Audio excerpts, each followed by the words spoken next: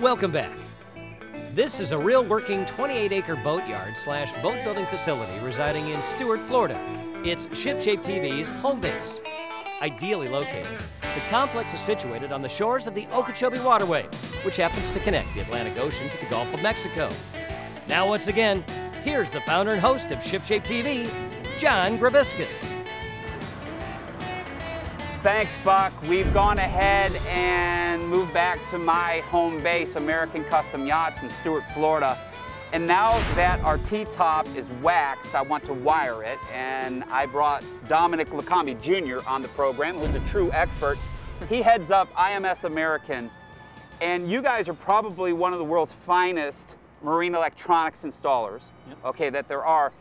And you do some really trick stuff to some boats, okay? What do you call those TVs that kind of raise up out of a cabinet? They're actually uh, pop-up lifts, John. Uh, we have we have that style as well as flip down lifts that we can install on boats or homes. Okay, now you work with all the major marine electronics companies with radars and GPSs and all that. Yep. But I've been to some homes here in the area that you guys have actually done. You, you, you do a lot of entertainment systems yep. for people. And, and some of the intricacies that you guys can do programming wise with the remotes on multiple screens or security cameras or whatever is just off the charts, Thank man. You.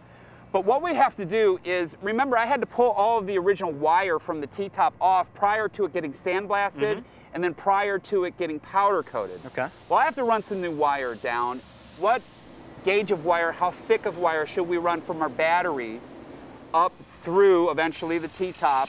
And I want to bring in this right here. This is a fiberglass electronics box. Okay. What type of wire should we use? We should, you should always stick to a marine grade copper tin, and we've chosen 10-2 for this length of run. Based who, on, who, dictates the thickness of the wire? Actually, there's a, uh, an organization called ABYC. Okay, and the ABYC is the American Boat and Yacht Council, and this governing body uh, oversees boat builders, making sure that they're building boats safely for us consumers. Now, we're going to have to connect this 10-2 wire to the battery. What connectors would you recommend? John, we'll start with the uh, ring terminal at the battery here. Okay, and we would crimp this on, and this is heat shrink that we would heat up, and that's going to seal the copper tinned wire so that no corrosion could get exactly. in. Exactly. So we've got the battery end taken care of. What are we going to do inside the electronics box? Because I want to distribute some power.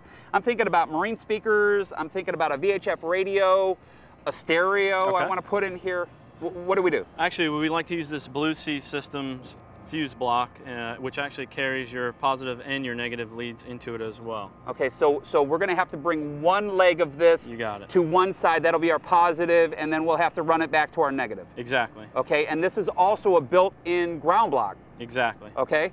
What are the fuses about? Well, actually, we'd like to fuse any piece of equipment that you like to put on the boat for proper protection. You'd like to fuse the equipment to protect yourself from having to replace expensive equipment down the road when you have a surge or some sort of electrical shock. Dominic, there are a lot of complicated curves and twists yep. going into the frame of this T-top. What are we going to use fish-wise? Okay, well, actually, we brought two different styles of fish that we like to use on the boats. The first being a more flexible fiberglass style, allows you to make a lot of different curves that you're talking about on this particular T-top. And if you have a few straighter runs or shorter runs, the steel tape is actually easier to pull. It stays much sturdier and uh, allows the wire to go along with it. What's the black cord all about? John, the black cord is for uh, future, future protection from having to run wires. You've already run your wires in the boat, but at the same time, if you pull yourself and ensure yourself you have this type of cord, next time when you go to add something to your box, add something to your T-top, you have something to pull from. You always want to leave a fish back behind if you ever need to add an accessory. Exactly. That is awesome. Okay, like I mentioned, a good quality marine electronics installer is, is kind of hard to find. Yep. They're, they're few and far between. How would somebody at home get a hold of IMS American? Uh, you can actually check us out on our website at uh, imsamerican.com. Hey Bolton, ShipShape TV will be back in a snap.